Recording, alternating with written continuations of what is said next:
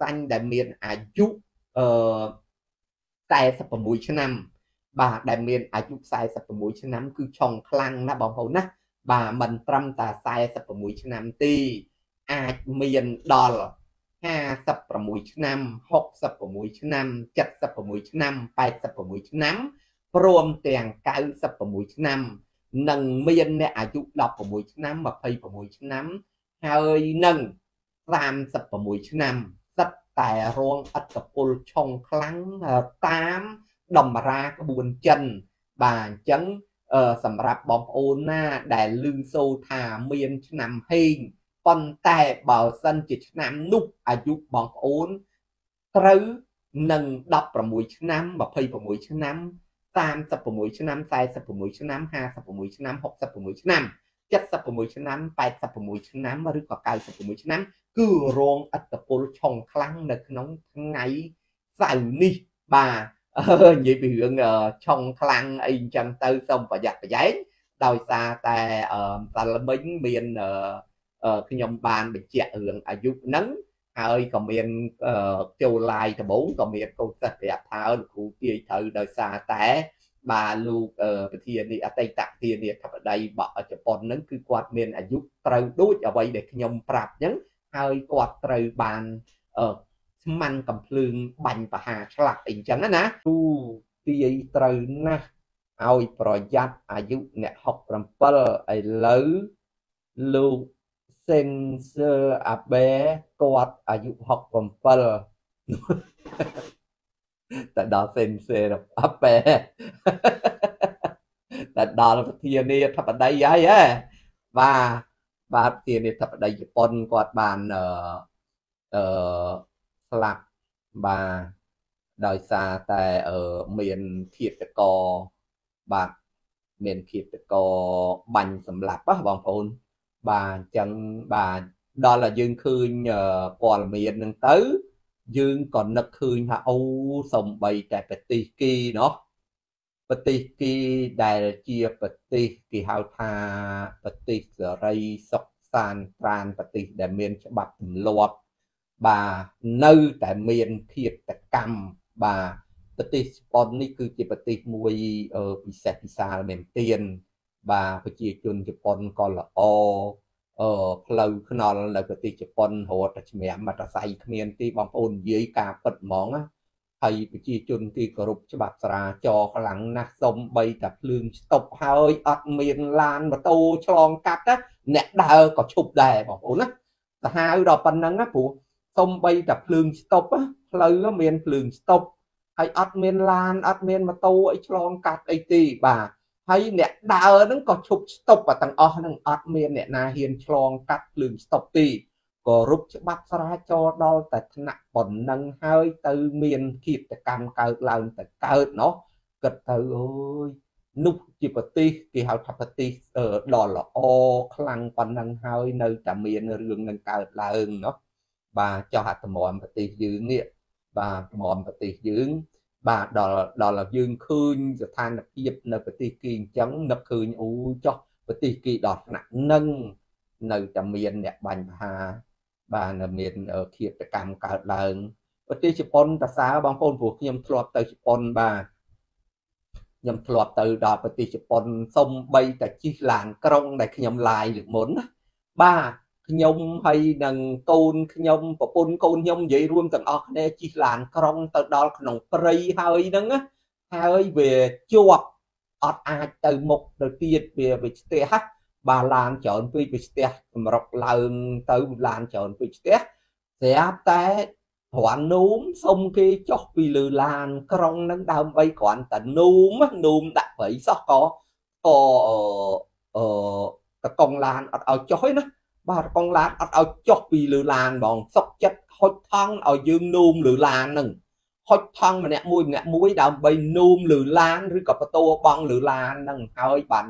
ទៅដល់កន្លែងដែលមានធុងសម្រាមទើបយកអឺលិបូហ្នឹងយកទៅក្បត់ចោលបានមាននូមចប់អីចឹងហើយក្បត់ចោលតាមផ្លូវបានអត់បានទៀតអូនិយាយពីគោរពច្បាប់សារាចរ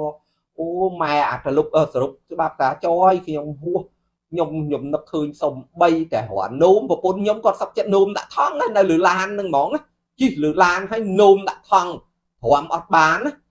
ព្រមសុំជុះសុំបើកទ្វារវាលុកទ្វារអត់ឲ្យយើងចុះពីលើឡានទេណាអត់ឲ្យចុះទៅនោមនៅក្រោមនោមនៅក្នុងព្រៃនោមនៅចើមខ្នល់គឺអត់បានលុកទ្វារឡានជាប់ត្មងនឹកឃើញយើងជប៉ុននឹកឃើញរឿងប្រពន្ធខ្ញុំជឿពោះរាន់នោមសុំជុះនោមអត់បាន បាទអញ្ចឹងនោមនៅលើឡានដាក់ថង់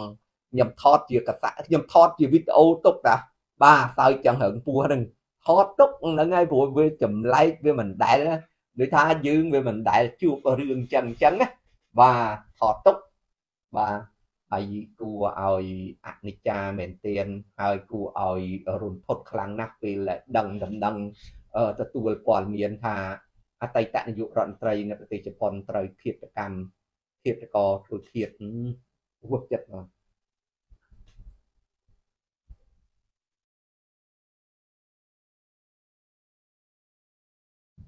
អូនធឿនបាទជំរាបសួរម៉ាក់អូនធឿន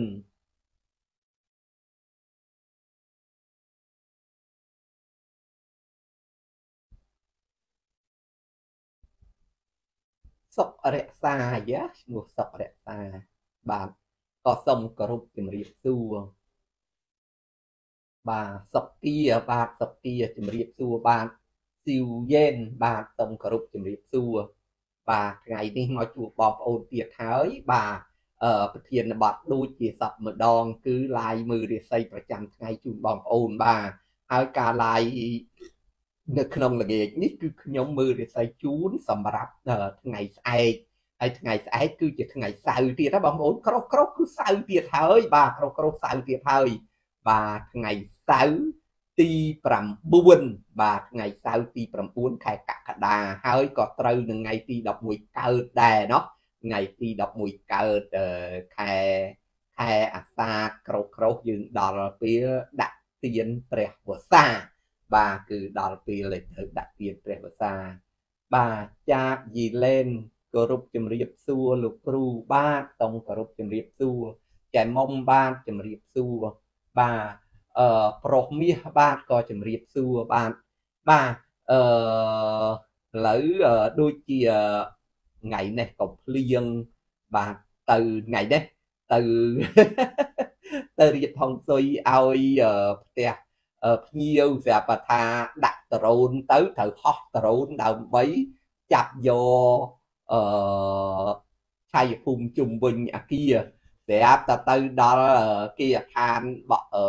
កូនសិស្សភ្លៀងបាទភ្លៀងមកបដ ாய் អញ្ចឹងទៅអត់បានថតដ្រូនទេបាទងាកនេះមកវិញគឺអត់បានថតដ្រូនបាទព្រោះការរៀបហុងស៊ុយនេះគឺត្រូវថតតាំងពីលើអាកាសទៅទៀតបាទអឺយើងថតទាំងលើអាកាសដោយដ្រូនហើយយើងក៏មានអឺ ចាត់យកអឺទីតាំងតាម Google Earth ដែរប៉ុន្តែគ្រាន់តែតាម Google Earth ហ្នឹងវាអត់ទៅច្បាស់បាទព្រោះវានៅឆ្ងាយពេកយើងពង្រីកឡើងទៅវាវាបែកអញ្ចឹងទៅហើយដល់នៅក្នុងដ្រូនយើងគឺយើងសូសយើង set software ហើយគឺសម្រាប់ connect ជាមួយនឹង LoRaWAN គឺសម្រាប់ connect ជាមួយនឹងអឺកុំពីក្បួនហុងស៊ុយយើងអញ្ចឹងពេលដែលទៅរៀបហុងស៊ុយកូនសិស្សគឺត្រូវការដ្រូននឹងហោះពីលើកន្លងជុំវិញនឹងថតយកអឺ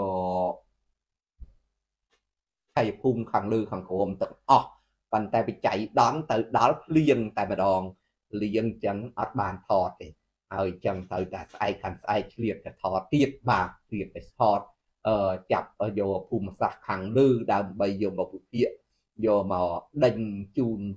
អឺលោកអុកញ៉ាបាទបាទជាគាឋានបាក់លោកអុកញ៉ាផងទៅដល់ភ្លៀងបដ ாய் បាទបាទសុករត់លក់គ្រឿងសង្ហារឹមបាទសូមគោរពជំរាបសួរបាទបាទអញ្ចឹងថ្ងៃស្អែកទី9នេះគឺជាថ្ងៃសៅរ៍ណាបងប្អូនណោះបាទថ្ងៃសៅរ៍ចិនគេហៅថាស៊ីងជីលីវរៀនរៀននិយាយពាក្យភាសាចិនទៅចោះបាទស៊ីងជីលីវ បាទនិយាយអវលះអញ្ចឹងបានត្រូវណោះហើយសូវគេថាអូលោកគ្រូនិយាយចិនដូចបៃឡាំបៃឡាំដើនដកដាចឹងទៅណាបាទហើយតាមក្បួនចិនគេហៅថាជាថ្ងៃកុលបាទតាមក្បួនចិនណាគេហៅថាជាថ្ងៃកុលរាសីមីមកធៀបទឹកយីនបាទថ្ងៃកុលរាសីធៀបទឹកដកបាទយើងនិយាយអំពីព្រៀបជាភាសាខ្មែរនៃជាខ្មែរវិញបាទ ឃីមគុនធាបាទជំរាបសួរលោកគ្រូបាទជំរាបសួរអ៊ីនាង បាទសូមគោរពជំរាបសួរបាទស៊ីងឈីលីវបាទណគាត់ទៅសេមកហ៊ីមស្រីមុំបាទគាត់ទៅសេជាចិនមកក៏ដាក់ថាស៊ីងឈីលីវបាទបាទចិនគេហៅថាស៊ីងឈីលីវបាទហ្នឹងហើយបាទអឺស៊ីម៉ាអ៊ីអីស៊ឺម៉ាម៉ាន់អ៊ីអើយ អើយឈ្មោះនេះដូចជាឈ្មោះនៅក្នុងរឿងសាមកុកបាទស៊ឺម៉ាអ៊ីតួអង្គអឺស៊ឺម៉ាអ៊ីនៅក្នុងរឿងសាមកុកនៅក្នុងរឿងសាមកុកអ្នកដែលតួឯកពិតប្រកបគឺស៊ឺម៉ាអ៊ីនឹងឯងបាទតួឯកពិតប្រកបរបស់រឿងសាមកុកហ្នឹងគឺស៊ឺម៉ាអ៊ីនឹងឯងប៉ុន្តែសម្រាប់អ្នកតាមដាននៅរឿងសាមកុកហេងសុយអត់អត់យល់ច្បាស់ថាតើតួឯកនៅក្នុងរឿងសាមកុកហ្នឹងគឺអ្នកណានោះបាទអឺ ច័ន្ទរតចន្ទធីបាទជំរាបសួរបាទពេជ្រខុនបាទក៏សូមគោរពជំរាបសួរបាទអឺថ្ងៃនេះរៀងតិចជុំតិចហើយបាទឡាយបដើអឺអាលឹមតក់តក់បដើនេះបាទបាទអឺនីវមួយនេះបាទលីវមួយនេះ អានអក្សរអង់គ្លេសចង់រួចទេបងប្អូនអើយបាទសូមគោរពជំរាបសួរលោកគ្រូបាទក៏សូមជំរាបសួរបាទច័ន្ទសូវណ្ណបាទសូមគោរពជំរាបសួរច័ន្ទសូវណ្ណបាទបាទអឺសាណាវុតតៃអូអានអក្សរអង់គ្លេសសឹងតែមិនរួចមិនមិនមិនមិនចេញបាទអឺវុតតៃសណាបាទសូមគោរពជំរាបសួរបាទបេឡា វេសុនអូអានរួចទេសូមអធិស្ឋានឲ្យផងណាបងប្អូនណាអឺពីអង់គ្លេសខ្លះខ្ញុំអានទៅវាអឺលលាក់លលើលលាក់លលើកបកបវាមិនចេញតែបើហ៊ានតែឃើញមានអក្សរខ្មែរនឹងលូតមកពឹបអូអានប្រុយតែម្ដងបាទតែបើចេញជាអក្សរអង់គ្លេសអីបាទមួយគៀបាទសូមគោរពជំរាបសួរអាមួយគៀបាទមួយគៀទេជីវ័យបាទគឺជាភាសាចិនឈ្មោះឈ្មោះឈ្មោះចិនមួយគៀបាទ លូលូយ៉ាន់យ៉ាអាលូយ៉ាន់យ៉ាអើយអានត្រូវទេបងប្អូនអើយលូលុយលូអូយ៉ាន់យ៉ាបាទអានត្រូវទេសូមអធិស្ឋានណាបងប្អូនណាបងប្អូនដែលមានជាអឺអក្សរសិងជាអ៊ីងលីសជាបារាំងអី sorry បាទ sorry បើសិនជា if i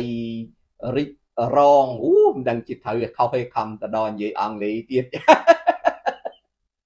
if i read your writing wrong អឺ I I I I I sorry I I I sorry I sorry បាទសូមអធិស្ឋានបើសិនជាខ្ញុំនិយាយអង់គ្លេសអីទៅវាមិនព្រោះមិនជួនមិនស្ទាត់មិនត្រូវណាបាទម៉ាក់រៀមអូម៉ែរៀមបាទជំរាបសួរបាទម៉ែរៀមរិនរត់រត់អូគាត់គឺជា friend page ជាប្រចាំខ្ញុំអានឈ្មោះម្ដងណាក៏ឃើញដែររិនរត់រត់មានន័យថាគាត់គឺជា friend special friend បាទបាទបើ special ណាភាសាសាមញ្ញនិយាយទៅឡើង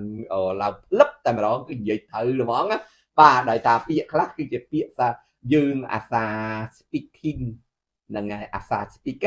ដល់អឺដល់តាអាសានិយាយចឹងទៅវាស្ទាត់ហ្មងបាទ លីមងីសេងបាទក៏សូមជម្រាបសួរលីមងិចសេងអូបាទបាទច័ន្ទហុងលោកគ្រូរៀបហុងសុយផ្ទះមួយតម្លៃប្រមាណដែរបាទផ្ទះមួយយកយកថ្លៃដែរហ្នឹងមកមុំមកមុំចាយរៀបមួយមកមុំចាយមួយខែអញ្ចឹងណាបាទបាទបើចង់ដឹងពីតម្លៃអាចឆាតចូលពេកបាទអឺ អត់ហ៊ានប្រាប់ជាសាធារណៈទេ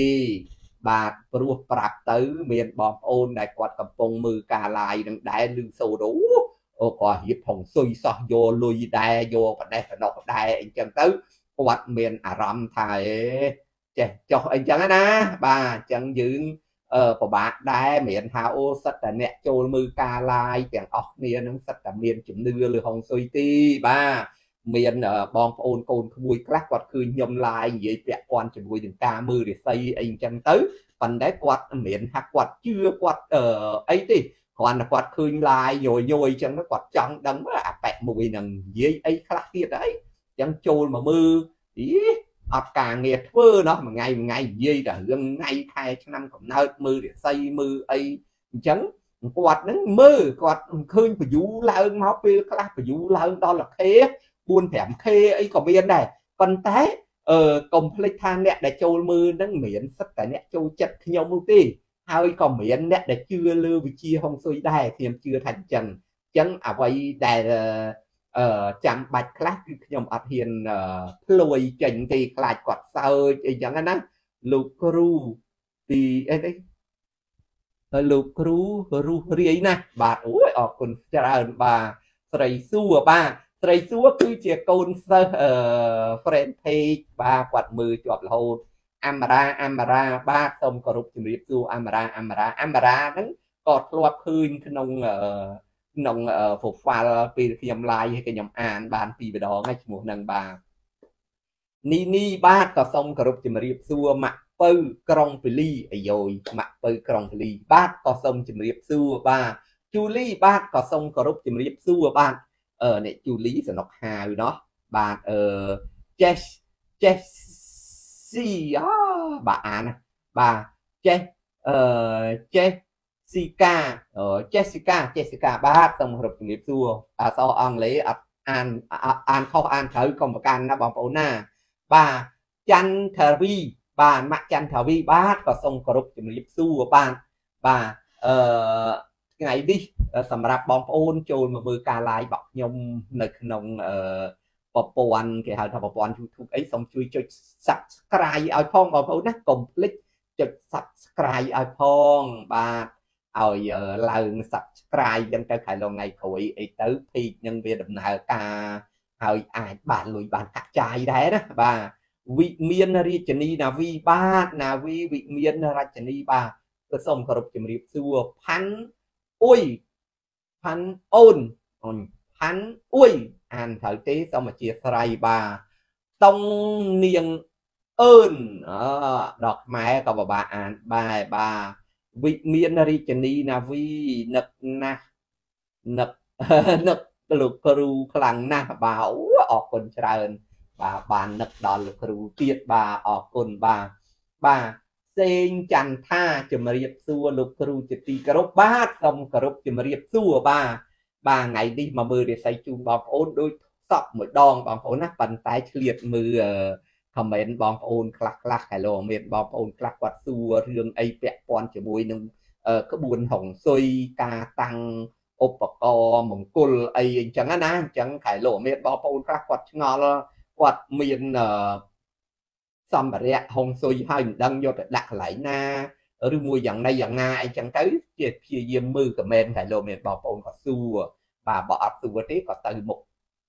បាទបើអត់សួរទេក៏មើលទៅតែម្ដងបាទបាទនៅក្នុងថ្ងៃស្អែកថ្ងៃទី9កក្កដានេះ បាទជាពេលវេលាមួយគេហៅថារាសីធាតទឹកដករារាសីមេឃមកជាធាតទឹកបាទអញ្ចឹងបើរាសីមេឃមកជាធាតទឹក ហើយឆ្នាំថ្ងៃដែលមកគឺជាថ្ងៃកុលបាននិយាយរួមបើយើងវិភាគរិស័យទាំងលើទាំងក្រោមសិតតែធាតទឹក បាទរិស័យលើក៏ទឹករិស័យក្រោមក៏ទឹកបាទលីនងីសេងជំរាបសួរលោកគ្រូបាទជំរាបសួរអ៊ីឆេងបាទជំរាបសួរបាទ បាទអញ្ចឹងដោយសារតែពេលវេលាថ្ងៃខែវាផ្លាស់ប្ដូរម្សិលមិញថ្ងៃចតថ្ងៃនេះថ្ងៃតលណាបងប្អូនណាអញ្ចឹងអឺជាពេលវេលាមួយដែលផ្លាស់ផ្លាស់ប្ដូរប្រចាំថ្ងៃវានឹងកើតអត្តពលបាទវានឹងកើតអត្តពលថ្ងៃនេះឆ្នាំនេះជួបបញ្ហា ដែលថ្ងៃស្អែកមានបកគលផ្សេងបែរទៅជាជួបបញ្ហាវិញ រីឯបុគ្គលដែលមានបញ្ហាថ្ងៃនេះក៏ធូរស្បើយស្រាក់ស្រានអីចឹងទៅចឹងវាអឺវាវាវាផ្លាស់ប្ដូរបើតាមក្បួនចិនគឺ2ថ្ងៃដូរមួយទៀត2ថ្ងៃបដូរមួយទៀតម្សិលមិញក៏ធៀបទឹកតែធៀបទឹកយ៉ាងហើយថ្ងៃអឺថ្ងៃនេះមានសិលមិញនេះអូសូមអធិស្ឋានមើលពីម្សិលមិញសម្រាប់ថ្ងៃនេះគឺថ្ងៃនេះក៏ជាធៀបទឹកយ៉ាង បាទហើយដល់មើលថ្ងៃនេះទៅស្អែកថ្ងៃស្អែកក៏ធៀបទឹកដែរតែធៀបទឹកយិនដល់លខានស្អែកវាផ្លាស់ប្ដូរទៅជាធៀបឈើណាបងប្អូនណាអញ្ចឹងនៅក្នុងរចនាសម្ព័ន្ធបកក្បួនចិនហ្នឹងគឺ2ថ្ងៃគឺផ្លាស់ប្ដូរមួយធៀបគ្រាន់តែមួយថ្ងៃ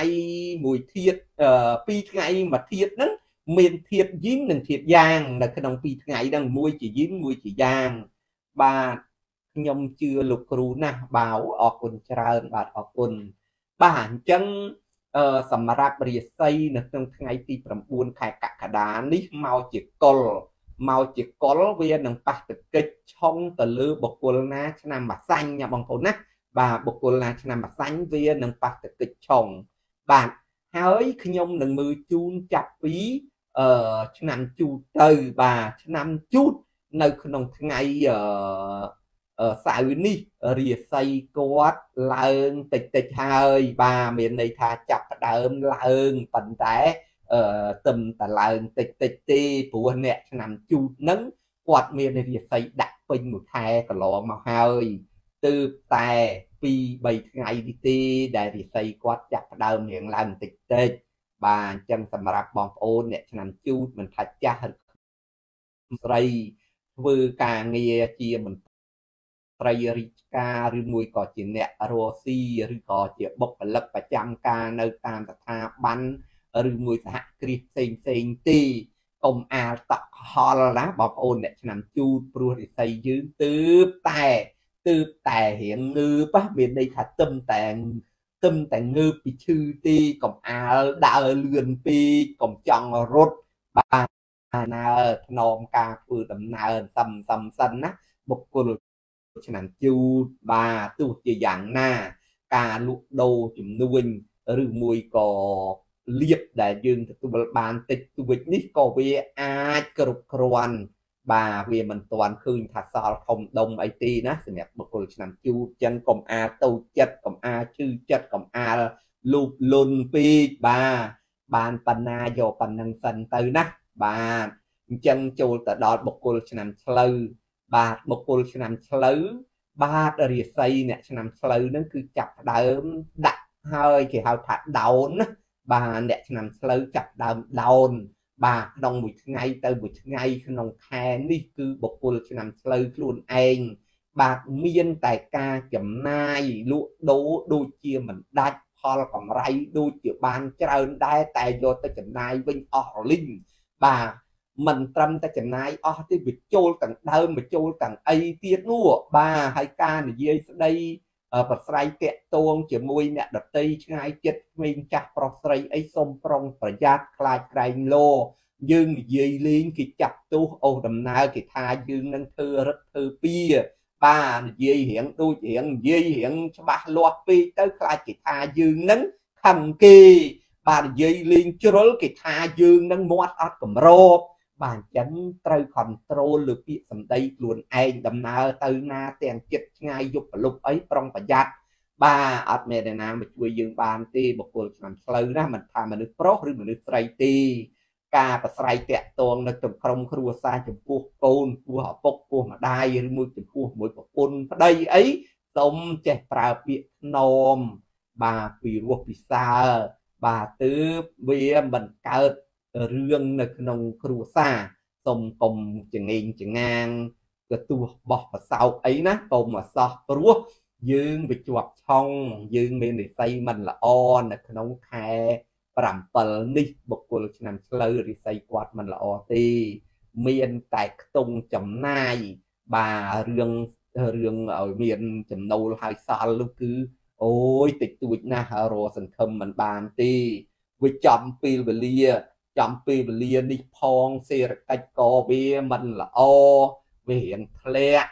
បាទហើយរិស័យយើងក៏វាចាប់ផ្ដើមមិន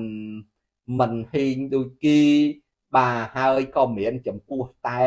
អឺបុគ្គលឆ្នាំឆ្លូវមួយទេសំបីតែបុគ្គលដែលមានរិស័យឡើងដូចជាបុគ្គលឆ្នាំខាលឆ្នាំថោះឆ្នាំរូងអីហ្នឹងណាបាទគឺជា បុគ្គលដែលមានរាសីគីឡើងខ្ពស់តដែកប៉ុន្តែក៏គីតឹងដែរបាទធ្លាប់តែចាយលុយពេញពេញដៃបានលុយច្រើនលក់ដូរបានលុយទាំងគួទាំងគួបាទទាំងគិបទាំងគិបបាទមួយថ្ងៃមួយថ្ងៃទូទាត់ទៅឃើញចំណេញមកកប់កប់ក្តោងប៉ុន្តែពេលនេះ បាទដល់រដូវកាលមួយដែលខ្ញុំតែងតែនិយាយប្រាប់បងប្អូនអឺយូរមកហើយបន្តបន្តរាល់ថ្ងៃដែលខ្ញុំឡាយខ្ញុំតែងតែនិយាយប្រាប់បងប្អូនថា នៅក្នុងពេលវេលាមួយនេះចាប់តាំងពីខែ5ខែ6ខែ7ខែ8ខែ9រហូតដល់ដើមខែ10វិញគឺវាល្អប្រសើរឡើងវិញណាបងប្អូនណាបាទអញ្ចឹងបងប្អូនខ្លះគាត់រួមបានគាត់រទៅវាដូចជាពិបាកបងប្អូនខ្លះថាលក់ដូរហេតុអីក៏លក់ទៅវាមិនអស់សល់រាល់ថ្ងៃអីណាអីហ្នឹងបងប្អូនមិនបាច់តូចចិត្តអីទេបាទកុំតូចចិត្តអីបាទ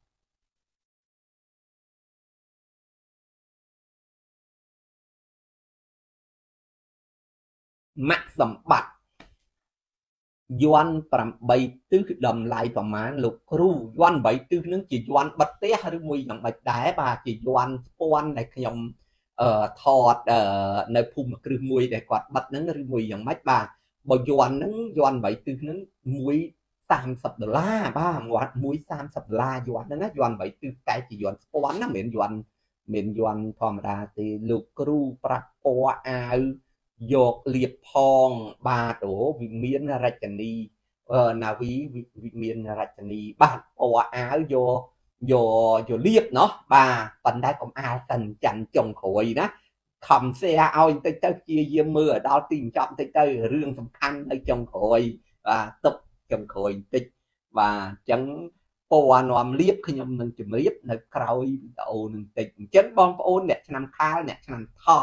ព្រមទាំងអ្នកឆ្នាំរូងដឹងហើយណោះរាសីយើងឡើងខ្ពស់ត្រដែតក្នុងថ្ងៃទី9ខែកក្កដាត្រូវនឹងថ្ងៃសៅរ៍នេះគឺឡើងខ្លាំងណាស់បាទប៉ុន្តែរាសីឡើងខ្លាំងថ្មីត្បិតតែរាសីយើងឡើងខ្លាំងមានប៉ុនឡើងខ្លាំងនេះគឺมันមានថាឲ្យយើងទៅធ្វើរឿងអីដែលអឺជារឿងមួយ ដែលខុសនៅក្នុងតម្រាទេដោយសារតែនៅក្នុងតម្រានៅក្នុងថ្ងៃអឺទី9ខែកក្កដានេះតម្រាឲ្យយើងបានត្រឹមតែបាទការងារពិសេសពិសេសដែលអាចធ្វើត្រូវគឺមានតែលោកគ្រូយន់ហ្វាក់ម៉ានដែរយន់ហ្វាក់ហ្វាក់ ម៉ានដែរយន់អីចេះហ្វាក់បាទបាទស៊ីនិតស៊ីណៃបាទស៊ីណៃជំរាបសួរបាទសារីនសារឿនបាទជំរាបសួរ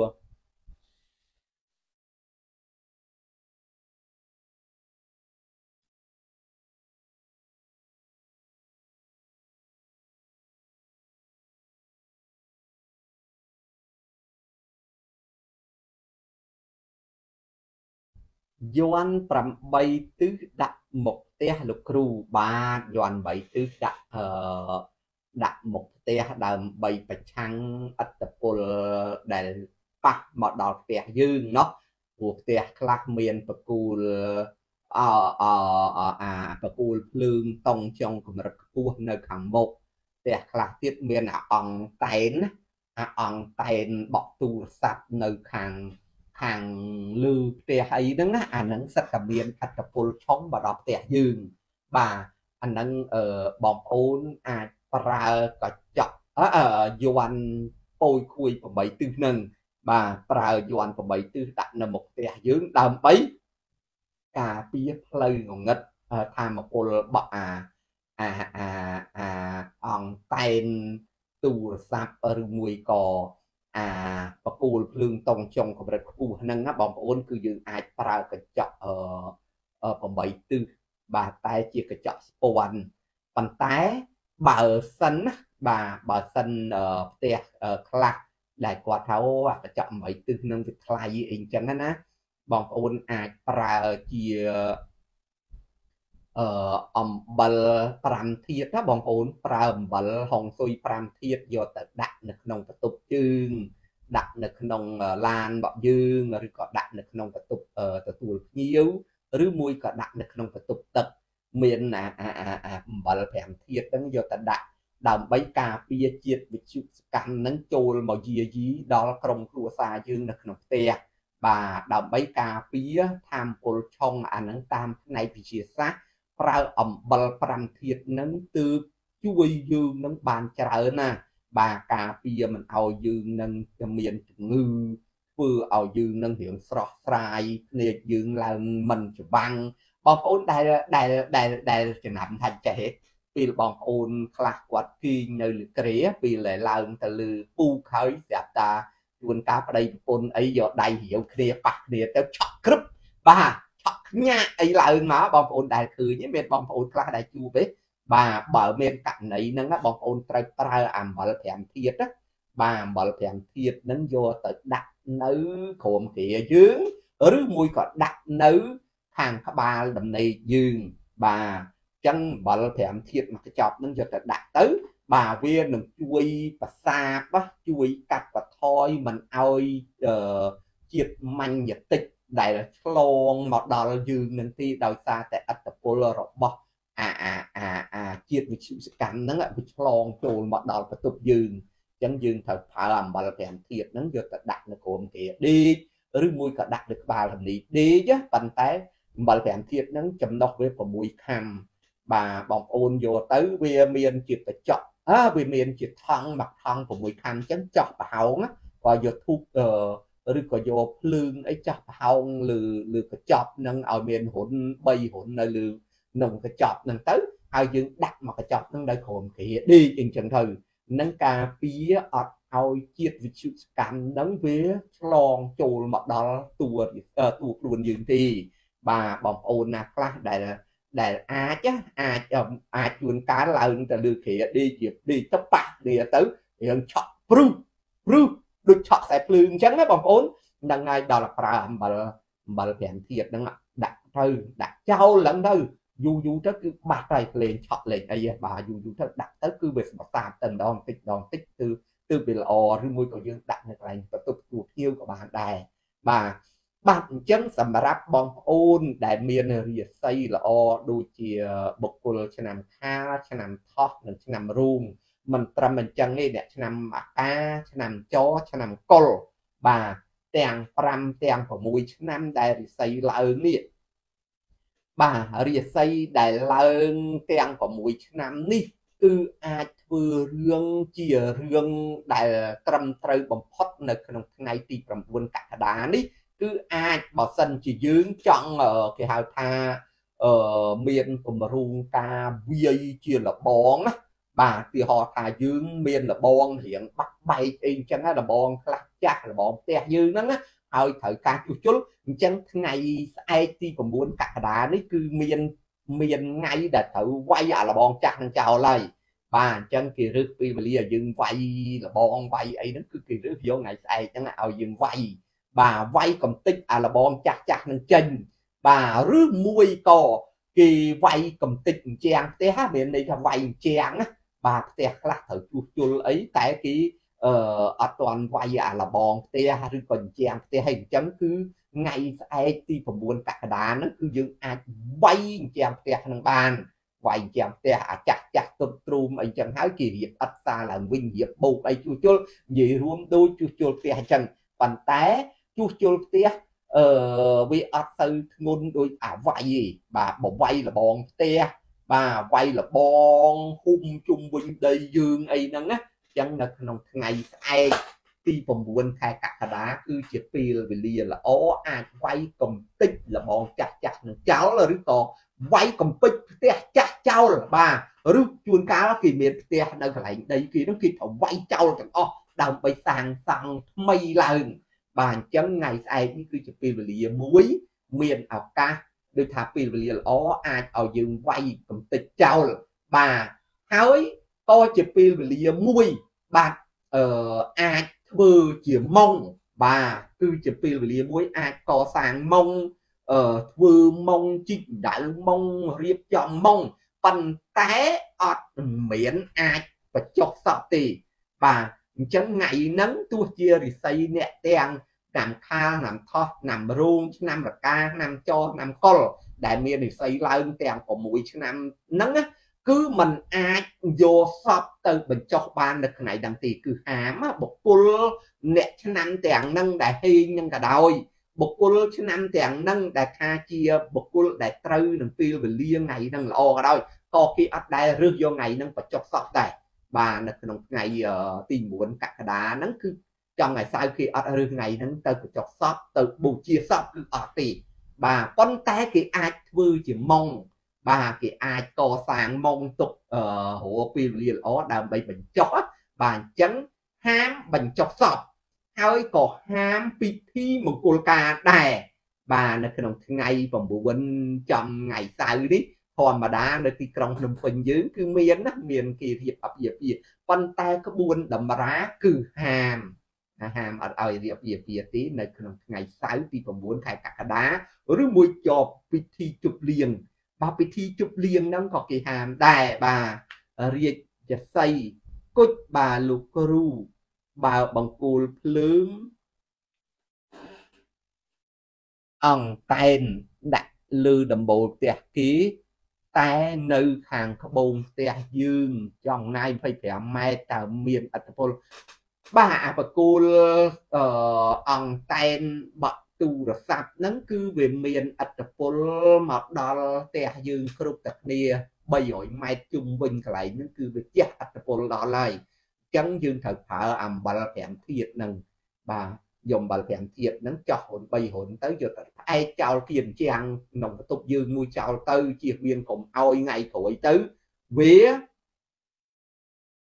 ប៉ះពាល់សុខភាពរបស់យើង បាទព្រោះអាហ្នឹងសិតតែផលប៉ះពាល់មកលើសុខភាពរាងកាយរបស់មនុស្សគ្រប់គ្នាហ្នឹងចឹងបងប្អូនខ្លះរហូតដល់គីងនៅក្រគ្រាន់គីងប៉ះគ្នាឆក់មានតែឆ្ងល់គឺដោយសារតែជាតិម៉ាញ់តិចបាទម៉ាញ់តិចរបស់ប្រព័ន្ធអេឡិចត្រូនិកហ្នឹងដែលវាមានមាន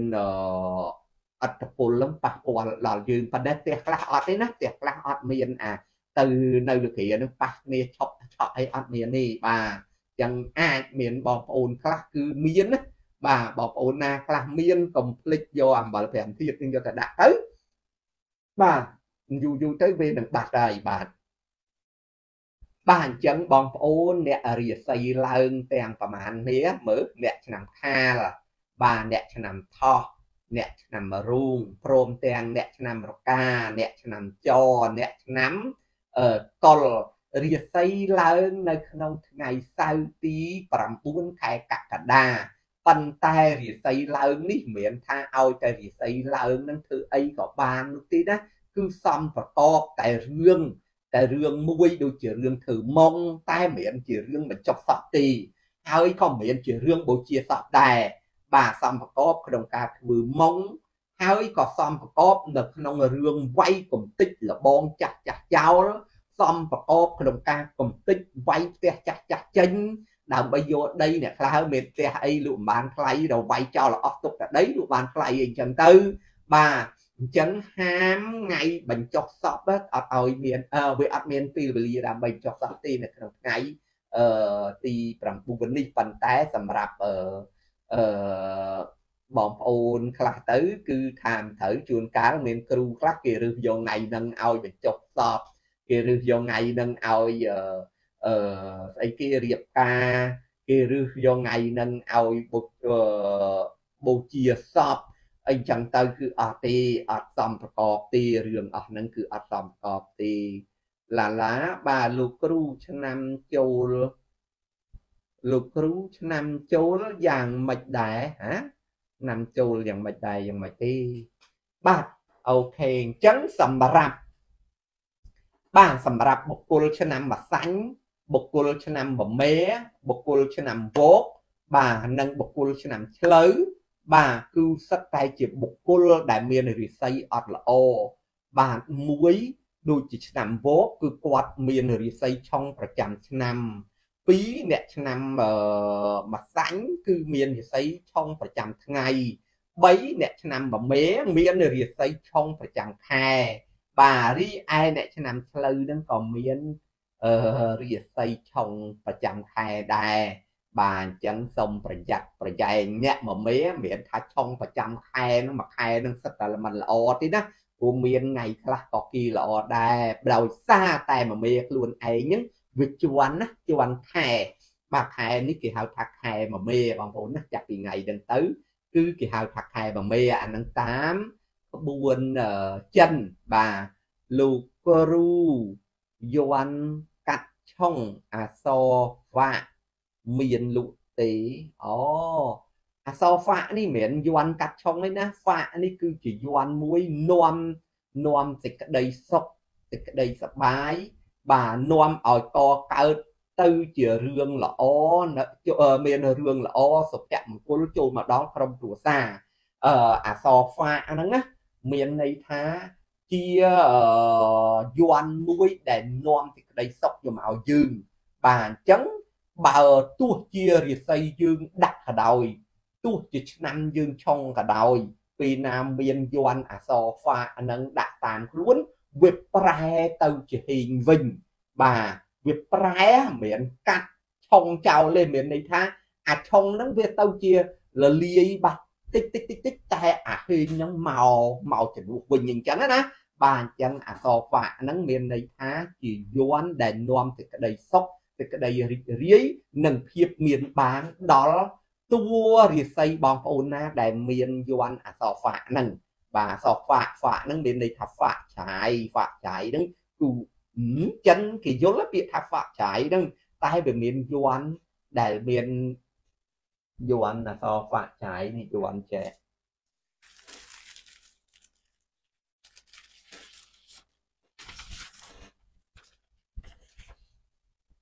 យន់8ទិសអសហ្វាក់ឆាយគឺជាយន់ចេះណាបងប្អូនណាបាទបាទនេះនៅក្នុងនេះមានអសហ្វាក់នៅលើក្នុងចំកដាលៀកបាទយន់ហ្វាក់ឆាយនេះគឺអត់អត់មានលក់ជូនបងប្អូនទេគឺអត់មានលក់ជូនបងប្អូនទេ សម្រាប់បងប្អូនកាលពីរដូវកាលមុនខែមុនមុនដែលគាត់បានជាវឬមួយឆ្នាំមុនឆ្នាំមុនដែលគាត់បានជាវគាត់ត្រូវយកមកប្រើនៅក្នុងខែនេះគាត់យកមកដាក់តាមខ្លួនបាទយកមកដាក់តាមខ្លួនដើម្បីសេចក្តីសុខចូលមកដល់ក្នុងតួរិស័យរបស់គាត់ដើម្បីភាពរីករាយដើម្បីឲ្យគាត់នឹងផ្ទុះផ្ទុះលៀបណា ដើម្បីឲ្យគាត់នឹងមានលៀបមានភ័ព្វមានសំណាងកិច្ចផុតពីគ្រោះហានិភ័យអីចឹងទៅ បាទប៉ុន្តែគេមិនហៅពាក្យថាជន់កាត់ឆុងអីគេហៅថាយន់នាំសេចក្តីសុខនាំលៀបសំណាងអាហ្នឹងបាទចិនគេហៅអញ្ចឹងណាបាទជាយន់ពោយខួយដែរបាទប៉ុន្តែជាយន់នាំលៀបនាំសំណាងអត់មានលក់ទេអស់អាលីងហើយប៉ុន្តែអ្នកដែលមានគឺតម្រូវការត្រូវប្រើនៅក្នុងខែហ្នឹង បាទចាប់ពីខែហ្នឹងទៅដល់ដាច់ខែបាទអ្នកដែលមានយន់ហ្នឹងទៅគឺល្អបាទគិតផុតពីរឿងសៅមងគ្រប់បែបយ៉ាងទាំងអស់ប៉ុន្តែសម្រាប់ខ្ញុំអត់មានលុកទេគ្រាន់តែមកហាងអានេះខ្ញុំទុកនៅកន្លែងខ្ញុំអឺកន្លែង live អញ្ចឹងខ្ញុំមានមួយស្លឹកទុកនៅហ្នឹងដើម្បីដើម្បីឲ្យយើងនឹងអូមានអតិជនច្រើនតិចគេហៅទៅហិផុងទុយតិចគេហៅឲ្យអាំងប៉ាវតិចគេហៅឲ្យនេះឲ្យនោះចឹងទៅបាទដោយសារតែយ័តមួយហ្នឹងយើងយើងទុក ទុកការទុកនៅនៅកន្លែងកន្លែងការងាររបស់ខ្ញុំនេះចឹងឲ្យធ្វើខ្ញុំរវល់ច្រើនដែរហ្នឹងណាបាទ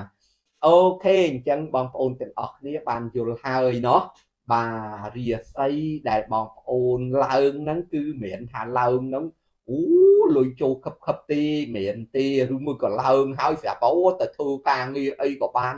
ផលបានសម្រេចឬមួយក៏ទៅហឹសយកថ្ងៃស្អែកឬសូរិស័យឡើង ទៅរៀបចំគ្រាដំណេកអីហ្នឹងអត់បានទេឬមួយក៏ទៅរៀបជានាងផ្ទះដាក់ផ្ទះអីក៏អត់បានដែរបាទឬមួយក៏រៀបអឺតឡើងកងម៉ាអីហ្នឹងក៏អត់ត្រូវដែរឬមួយក៏ទៅរៀបលោកតាជានាងផ្ទះអីលោកតាថែអាសាជានាងជាក្រានអីក៏អត់ត្រូវដែរបាទអត់ទេបាទគេមានពេលមានវេលាគេថ្ងៃល្អតើត្រូវធ្វើអីត្រូវលោកគ្រូអំបិល5ទៀតមានលក់នៅ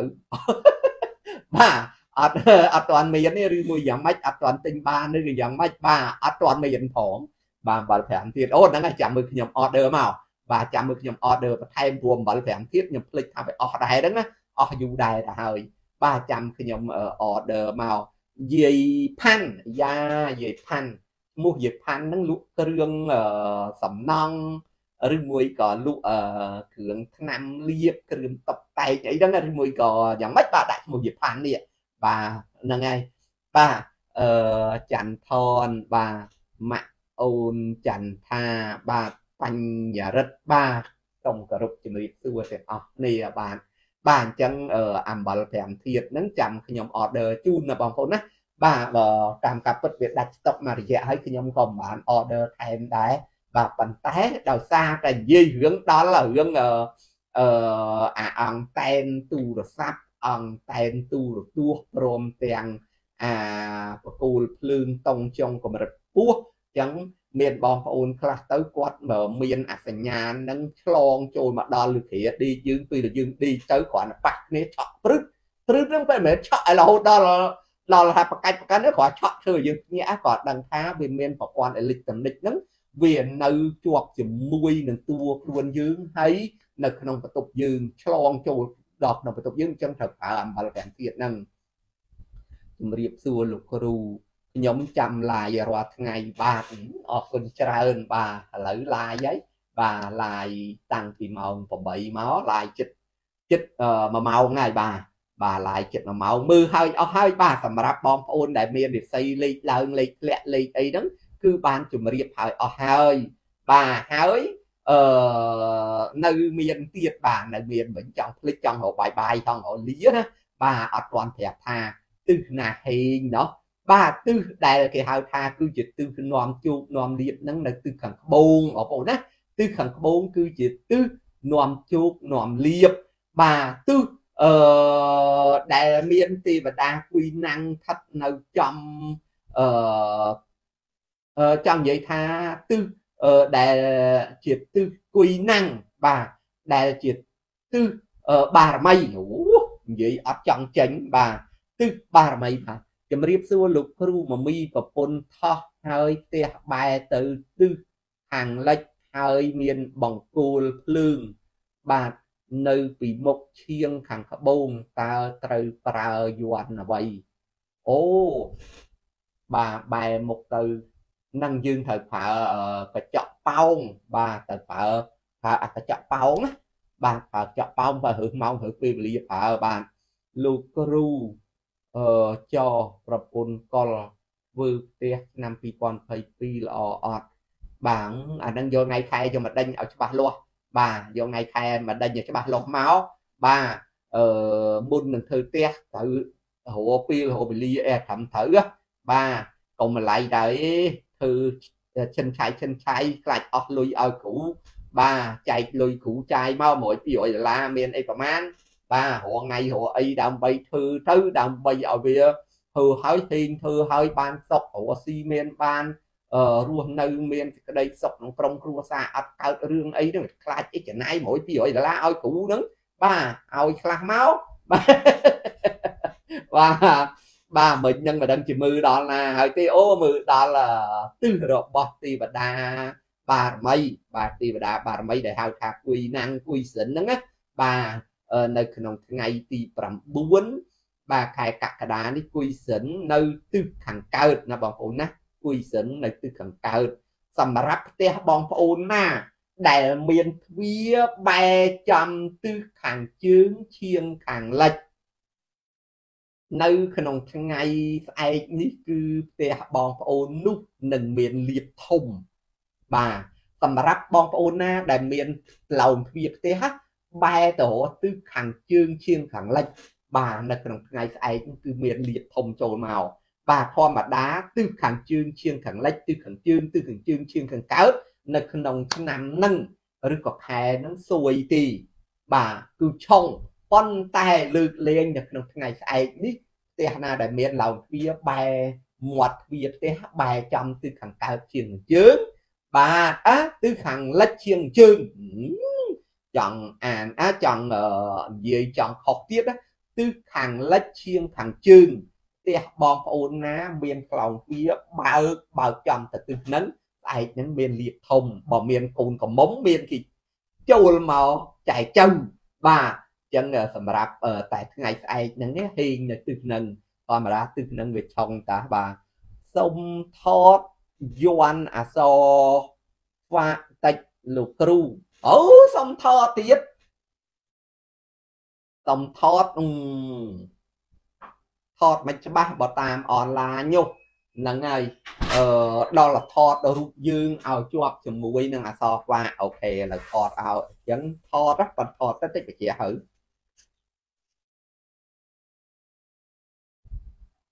បាទអត់ថតបាទថតឲ្យជាប់មួយតួរិស័យយើងហើយនឹងយន់ហ្នឹងមកបាទនឹងជួយយើងបានច្រើនបាទជួយយើងបានច្រើនលោកគ្រូប្តីវកមកសាញ់យកកូនឆ្នាំណាល្អឆ្នាំវកនិងមកសាញ់ឆ្នាំវកឆ្នាំវកហើយនឹងមកសាញ់គឺយើងអាចយកកូនឆ្នាំ រូងឆ្នាំរកាបាទឆ្នាំឆ្លូវនិងឆ្នាំជូតអាចយកបានណាបាទអ្នកឆ្នាំវកនិងឆ្នាំម្សាញ់អាចយកកូននៅឆ្នាំរកា បាទហើយឆ្នាំឆ្លូវព្រមទាំងឆ្នាំជូតហ្នឹងហើយឆ្នាំវកឆ្នាំឆ្នាំរូងខ្លួនឯងឆ្នាំម្សាញ់ខ្លួនឯងហ្នឹងក៏យកកូនបានដែរបាទហ្នឹងហើយអញ្ចឹងអាចយកបានដូចជាអឺឥឡូវ លួនយើងអ្នកម្សាញ់ហើយមានប្តីជាវកបាទអញ្ចឹងឆ្នាំមកកាក៏យើងយកបាន ឆ្នាំរូងក៏យើងយកបាន ឆ្នាំម្សាញ់ខ្លួនឯងនឹងក៏យកបានឆ្នាំជូតឆ្នាំឆ្លូវយកបានទាំងអស់បាទយកឆ្នាំមួយណាយកមកបាទលោកគ្រូសុំយន់មួយស្លឹកប្រយ៉ាអត់មានទេមានអាមួយស្លឹកហ្នឹងហ្នឹងទុកខ្លួនឯងហ្នឹង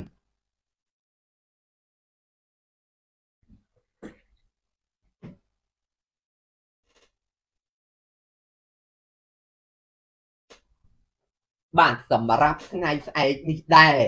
ចង់ភ្លេចចាស់មានបងប្អូនខ្លះគាត់អឺមានខមមិនកូនសិស្សដែលគាត់ខមមិននឹងដើមដំបូងថាប្រាប់ពណ៌ផងកុំឲ្យភ្លេចបាទចង់ភ្លេចទៀតបាទពណ៌ដែលហេងនៅក្នុងថ្ងៃស្អែកពណ៌ដែលនាំលៀបនៅក្នុងថ្ងៃស្អែកបាទជាថ្ងៃ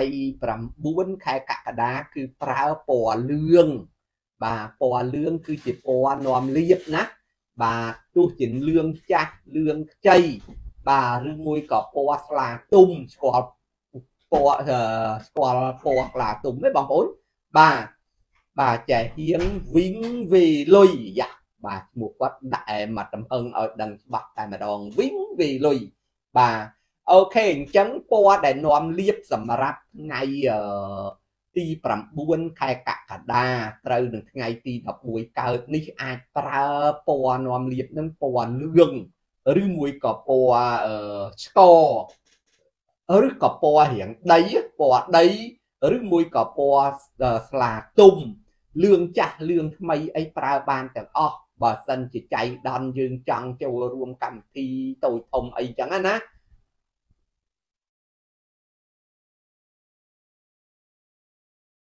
បាទអញ្ចឹងបងប្អូនទៅណាមកណាទីហោធ្វើដំណើរទៅណាឆ្ងាយទៅលេងផ្ទះបងប្អូនទៅផ្សារទិញម្ហូបទិញអីលក់ដូរអីហ្នឹងបើមានខោអាវពណ៌រៀងលឿងលឿងប្រើទៅគឺជាពណ៌នាំលៀបសម្រាប់ថ្ងៃទី9ខែកក្កដានឹងហើយបាទចឹងអាចប្រើពណ៌ហ្នឹងគឺជាពណ៌នាំនាំលៀបសំណាងសម្រាប់ដួងរិស័យយើងបាទ នឹងហើយហើយសូមជម្រាបពាក់ព័ន្ធជាមួយនឹងថ្ងៃស្អែកនេះសម្រាប់បងប្អូនមួយចំនួនដែលគាត់ធ្វើដំណើរតាមផ្លូវទឹកឬមួយក៏អឺគាត់ធ្វើអាជីវកម្មនៅតាមគេហៅថាតាមសមុទ្របាទចឹងសូមប្រុងប្រយ័ត្នផងណាព្រោះមានកោរន្ទះភ្លៀងអឺមិននឹកដូចថាមិនបានមិន វាបច្ច័យដនណាបាទវាមិនមែនជារឿងដែលធ្វើឲ្យយើងដឹងទេវានឹងកើតមកភ្លាមភ្លាមធ្វើឲ្យយើងអឺនឹកស្មានមិនដឹងនឹកស្មានមិនត្រូវអញ្ចឹងសូមប្រយ័ត្នសម្រាប់បងប្អូនដែលនៅតាមអឺមាត់សមុទ្រអ្នកនេសាទអីហើយបើនិយាយអំពីទឹកជូរមានន័យថាទឹកដែលជន់ឡើងមកហ្នឹងបាទនៅក្នុងថ្ងៃស្អែកវាចាប់ផ្ដើមជន់ឡើងមក នៅក្នុងម៉ោងចាប់ពីម៉ោង1:50នាទីយប់បាទវានឹងមានទឹកជន់ឡើងមកម៉ោង1:50នាទីយប់ហើយវានឹងស្រកទៅវិញបាទនៅវេលាម៉ោង6:40នាទីបាទវានឹងស្រកទៅវិញម៉ោង6:40នាទីបាទហើយថ្ងៃនេះឆ្លៀតប្រាប់អំពីលេខបាទប្រាប់អំពីលេខដែលបងប្អូនខ្លះគាត់ទួថាលោកគ្រូអើយហេតុអី អត់អត់លឺទៅលោកគ្រូឡាយប្រាប់ពីលេខសំណាងអញ្ចឹងបាទចឹងជំរាបលេខសំណាង8ខ្ទង់ឲ្យបងប្អូនយកទៅពិចារណាប៉ុន្តែមិនមែនថាយកទៅចាក់ឆ្នោតយកទៅចាក់លបែងអីទេណាបាទគ្រាន់តែហ្នឹងហើយអឺបងប្អូនគេលើថាអឺមានអេខ្ញុំពិបាកយល់ដែរលេខហ្នឹងបងប្អូនគិតថាយកទៅធ្វើអីក៏យកទៅប៉ុន្តែលេខដែលគេហៅថាលេខហេងប្រចាំថ្ងៃហ្នឹងមានលេខ07 បាទ05 07និងលេខ10គុត12ហើយក៏មានលេខ23លេខ33និងមានលេខ47 39បាទអញ្ចឹងលេខល្អប្រចាំថ្ងៃបាទខ្ញុំគ្រាន់តែគ្រាន់តែដឹងថាវាមានលេខហ្នឹង ចឹងបងប្អូនយកតែធ្វើអីខ្ញុំអត់ដឹងទេប៉ុន្តែតិចថាតិចយកទៅចាក់ឆ្នោតទៅខុសឲ្យអាលាយលុតអីបើបន្ទូគ្រូអត់ទេណាមិនមែនប្រាប់លេខនឹងដើមអីទៅទៅទៅចាក់ឆ្នោតចាក់អីទេប៉ុន្តែគ្រាន់ថាវាមានលេខល្អប្រចាំថ្ងៃគឺមានលេខ05មានលេខ07មានលេខ10គុតមានលេខ12មានលេខ23 33និងមានលេខ39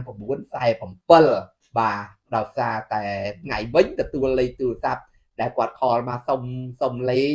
មិនដឹងសុំលេខទៅធ្វើអីអត់ដឹងអញ្ចឹងឡាយក៏ប្រាប់លេខហ្នឹងទៅបាទប្រាប់លេខហ្នឹងទៅគឺមានលេខល្អប្រចាំថ្ងៃបាទតែកុំយកទៅភ្នាល់លបែងស៊ីសងបងប្អូនណា បាទអូខេអញ្ចឹងអឺអ្នកដែលគួរប្រយ័ត្នខ្លាំងមែនទែនដោយសារតែថ្ងៃទី9ខែកក្កដានេះគឺជាថ្ងៃកុល ចឹងបុគ្គលឆ្នាំអាសាញ់ដែលមានអាសាញ់ដែលមានអាយុអឺ46ឆ្នាំ បាទដែលមានអាយុ46ឆ្នាំ គឺឆុងខ្លាំងណាបងប្អូនណាបាទមិនត្រឹមតែ46ឆ្នាំទេអាចមានដល់56ឆ្នាំ66ឆ្នាំ76ឆ្នាំ86ឆ្នាំព្រមទាំង96ឆ្នាំនិងមានអ្នកអាយុ16ឆ្នាំ26ឆ្នាំហើយនឹង 36ឆ្នាំសិតតែរងអត្តពលឆុងខ្លាំងតាមតម្រាក្បួនចិនបាទអញ្ចឹងសម្រាប់បងប្អូនណា ដែលឮសូរថាមានឆ្នាំហេងប៉ុន្តែបើសិនជាឆ្នាំនោះអាយុបងប្អូនត្រូវនឹង16ឆ្នាំ26ឆ្នាំ36ឆ្នាំ46ឆ្នាំ56ឆ្នាំ66ឆ្នាំ76ឆ្នាំ86ឆ្នាំឬក៏96ឆ្នាំ គឺរងអត្តពលឆុងខ្លាំងនៅក្នុងថ្ងៃសៅរ៍នេះបាទនិយាយពីរឿងឆុងខ្លាំងអីអញ្ចឹងទៅសូមប្រយ័ត្នប្រយែងដោយសារតែសាលមិញមានខ្ញុំបានបញ្ជាក់រឿងអាយុហ្នឹងហើយក៏មានចូលឡាយដំបូងក៏មានកូនសិស្សប្រាប់ថាលោកគ្រូទាយត្រូវដោយសារតែបាទលោកប្រធានាអតីតប្រធានាធិបតីបកជប៉ុនហ្នឹងគឺគាត់មានអាយុត្រូវដូចអ្វីដែលខ្ញុំប្រាប់អញ្ចឹង ហើយគាត់ត្រូវបានស្មានកំភ្លើងបាញ់បហាឆ្លាក់អីអញ្ចឹងណាបាទអញ្ចឹងអឺដូចជាថ្ងៃនេះក៏ជូនបាទក៏ជូនថាបុគ្គលដែលមានឆ្នាំអាយុប៉ុណ្ណឹងសូមប្រុងប្រយ័ត្នដូចគ្នាព្រោះអត្តពលចក្រវាវាឆុងចូលមកដល់ចឹងអាចមានបញ្ហាសម្រាប់បងប្អូនទាំងឡាយណា ដែលមានអាយុដូចដែលខ្ញុំបានជម្រាបហ្នឹងណាបងប្អូនណា បាទជឿឬមិនជឿសូមប្រុងប្រយ័ត្នប៉ុន្តែជាក់ស្ដែងដូចឆ្នាំដែលខ្ញុំប្រាប់ថានឹងឆុងខ្លាំងអីចឹងទៅឥឡូវមាន feedback មកវិញថាពិតជាត្រូវណាដោយសារតែគាត់ត្រូវរងគ្រោះ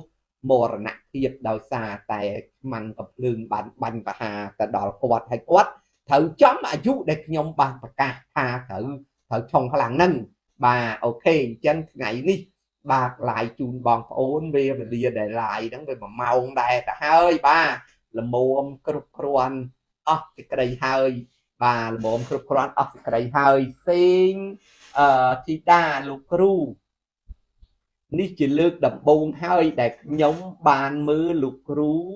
បាទតាម YouTube ខ្ញុំសូមសួរមួយមកលោកគ្រូអឺកើត1980ស្រី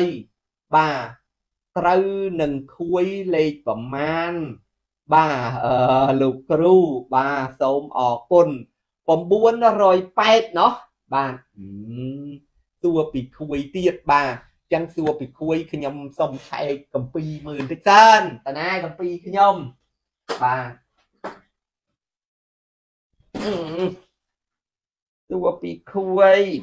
908ស្រីឬក៏ប្រុសមើល ដឹង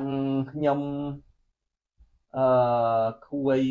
អញតាណាបាត់កមែនគាត់មិញបាទបាទអឺដឹងថា908តែគាត់អត់បានដាក់ថាគាត់នឹងអឺប្រុសឬស្រីអីចឹងសុំមើលក្បួនតិចសិន908នៅឯណា908អត់ចាំទេគួយច្រើនពេកបាទឆ្នាំ908បាទ បាទអ្នកកើតនៅក្នុងឆ្នាំ1908បើមនុស្សប្រុសគឺខួយនឹង